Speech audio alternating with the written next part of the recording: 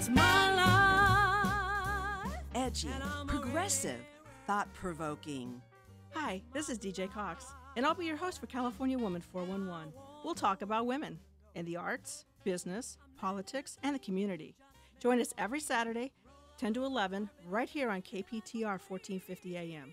California Woman 411. It's what progressive women are talking about.